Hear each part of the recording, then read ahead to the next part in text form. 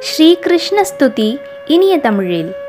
பூரண பொருளே மேன்மையிலும் மேலானவனே யாகங்களின் தலைவனே யாவற்றிற்கும் காரணமானவனே ராதையின் நாயகனே புலனடக்கம் நிறைந்து இருப்பவனே மற்றும் கோகுலத்தில் உரைகின்ற பரம்பொருளே ஸ்ரீகிருஷ்ணா உனக்கு நமஸ்காரம். நீ பெரும் ஜோதி நிலை பெற்ற மனதினன் என்று வர்ணிக்கின்றனர் யோகியர். நீ மாற்றுரு கொள்ளாத பரமன் என்று நாங்கள் இப்போது அறிந்து கொண்டோம். பேரொளியின் தலைவனே உனக்கு நமஸ்காரம். மூல பரம்பொருளே புறசாதனங்களை கொண்டு மாபெரும் அறிஞர்களாலும் கூட அணுக முடியாத குறிப்பால் உணர இயலாத குணங்களற்ற களங்கமற்ற பரபிரம்மமாகிய உன்னை சரணடைகிறோம்.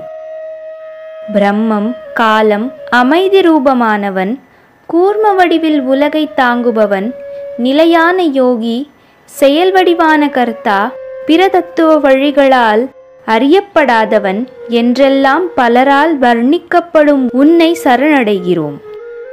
மிகவும் மேலானதான உனது பாதம் பணிவதை விட்டுவிட்டு தீர்த்த யாத்திரை யாகம் தவம் என்று பலவித அலைக்கழிப்புகளால் துயருற்ற மக்கள் தமது முயற்சிகளால் பலன் பெற மாட்டார்களா? இறைவா தேவர்களாலும் யோகியராலும் உன்னிடம் தெரிவிக்கப்பட வேண்டியதும் உண்டோ?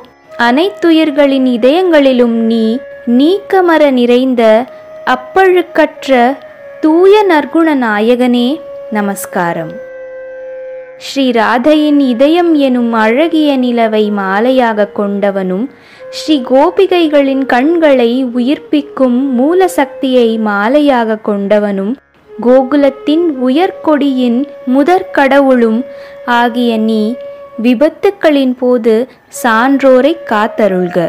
பிருந்தாவனத் தலைவனே கோவர்தனகிரியின் நாயகனே விரஜபூமியின் இறைவனே இடை சிறுவனாக வேடம் பூண்டு பல லீலைகள் புரிந்தவனே ராதையின் காவலனே வேதங்களின் ரக்ஷகனே நீர் புவியையும் மரத்தையும் கோவர்தன மலையை தூக்கி பிடித்ததைப் போல காத்தருளும்.